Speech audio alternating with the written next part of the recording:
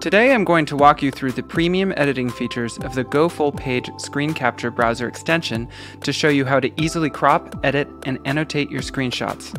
Let's get started by navigating to the Formatting menu to get to the cropping feature so you can crop out anything distracting from your screenshot. Clicking on Crop Image creates a cropping box on your screenshot that represents the part of your image you want to keep. Move your mouse pointer over the handles, then click and drag to resize it to the part of the screen capture you would like to preserve. Click Done Cropping to exit the cropping editor.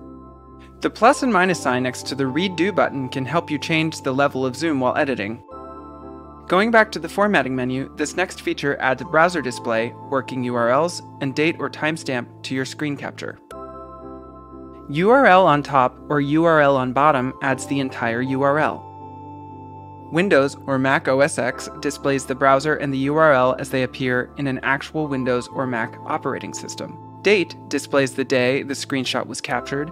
Date and time adds the time of the day as well, and ISO displays the same information in a format that is internationally understood.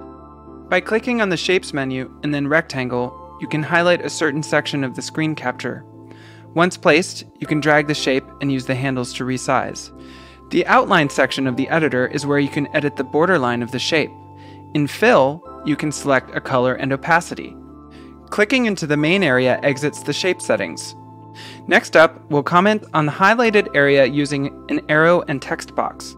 First, you can select the arrow feature. Going back into Outline, you can input your preferred line weight and change the color. Using the automatic red guidelines, you can place the arrow in the ideal location. Next, select text and drag the element to place it in the appropriate place with the help of the red guidelines. Double-click inside the text element and visit Font to change the font size. You can move the text box by clicking and dragging the text element. Double-clicking again, you can input the text you'd like shown. In Fill, you can change the color of the text. And dragging the handles of the text element allows you to resize.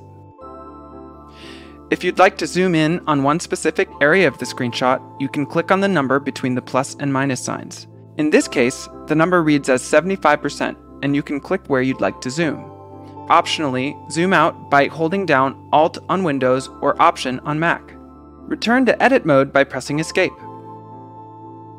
If you'd like to convey something with an emoji rather than pure text, you can go back to the Shapes menu and then select the Stickers menu for your system's emojis. In this case, we are looking to use the flashing camera emoji. To place a second emoji, you can go back to the menu.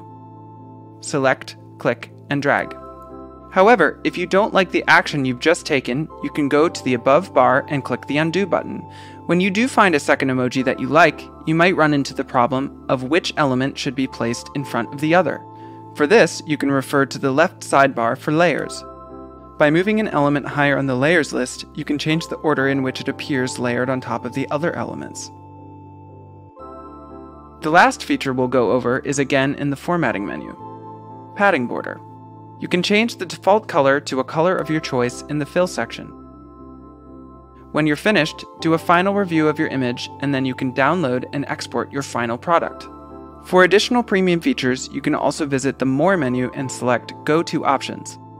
Here you can activate Smart Page Splitting, a premium feature that will optimize your screenshots for text page breaks when saved to a PDF, or you can activate another premium setting that will automatically add the URL and your system's date time to every PDF exported. If you have any questions or thoughts about the premium editor, please don't hesitate to share it by clicking the button on the bottom left with the flag that says, Any issues? Have a great day and have fun editing your screenshots.